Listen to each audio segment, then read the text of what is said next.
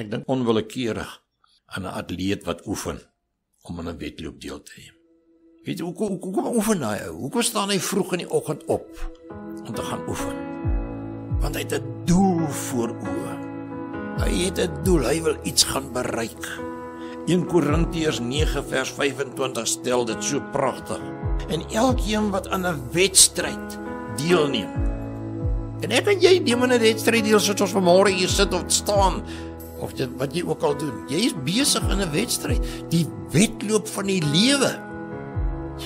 Dit is nie 'n fisiese byeenkoms, atletiek byeenkoms of 'n rugby wedstryd of wat ook al nie, maar ek en jy is daagliks soos ons nou hier sit, is ons in 'n wedstryd.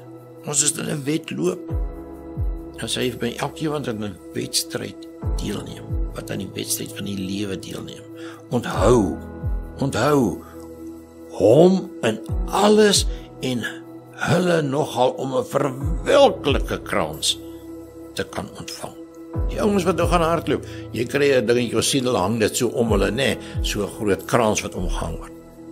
In 2, 3 maande of 3 weke, soos daai ding verdor en dan se beteken hy niks meer nie. Die blare val af van die blomme verdor en daar's niks nie.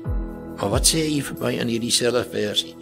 En elkeen wat aan 'n wedstryd van die deelneem, onthou hom in alles hulle nogal om 'n werk verwelklike kraans te ontvang, hulle wat nie in die bedloop van Jesus is nie, en ons 'n onverwelklike.